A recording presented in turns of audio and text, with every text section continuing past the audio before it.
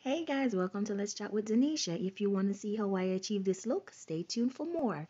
Remember to like, share, and subscribe. I've used this here before. If you haven't seen that video, please go ahead and watch it. It's called the Bohemian Passion Twist. And I bought three packs of it.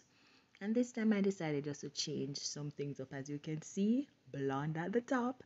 And then I have you know, the other kind of burgundy type of black thing. So, yeah, I asked someone to cornrow my hair for me, and um, yes, they did a very good job. So, that's the oil moisturizer that I used, and all I did was really to put it on the hair itself, and I also moisturize my hair because you know you gotta keep your hair moisturized. So, I used the Jamaican castor oil to also moisturize my scalp.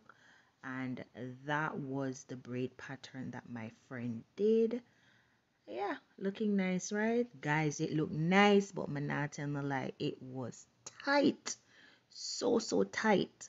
But I really appreciated it. So all I did was I went in with the moisturizer and I moisturized um hey you see my forehead?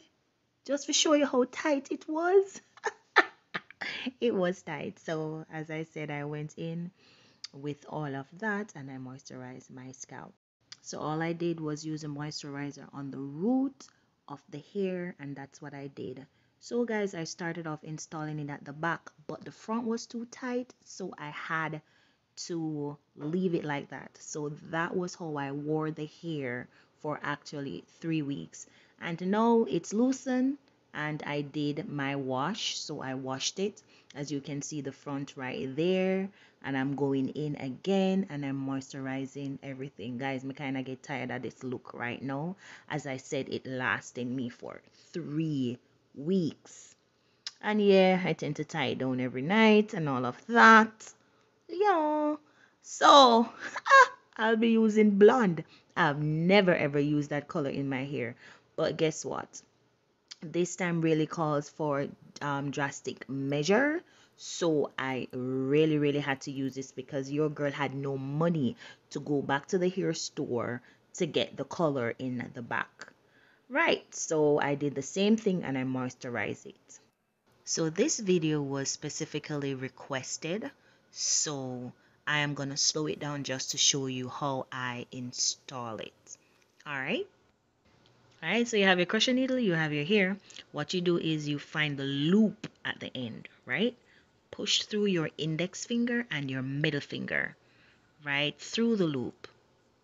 Then you use your finger to guide you. Find the space that needs to be filled. Push through the crochet needle and then pull through the hair.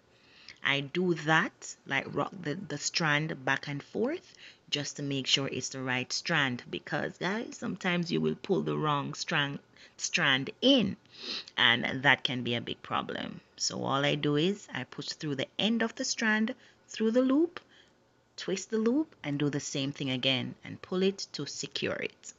Was that fast? Okay I'm gonna slow it right down all right, so the first thing you do is with the strand, you're going to find the loop.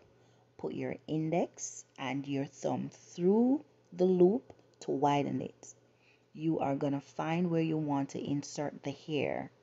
Then you are going to push through the crochet needle and you are going to put the loop over the crochet needle to secure it. Then you're going to lock the crochet needle and you are going to pull it, pull the crochet needle through the braid. Release the crochet needle and then you are going to find that strand that you pull through. My technique is I rock it back and forth just to make sure that it's the right strand that I need to loop. I'm going to open up that loop with my thumb and my index finger. Pull the end of the strand through, twist the loop, pull it through again, and I'm going to pull that strand, the end of the strand, to secure it. if you still want this to be you know slower you can always slow it down yourself so guys this is the end of it and i hope that you learned a lot from this video so this is the end result. I'm not really liking it. Um not really liking it.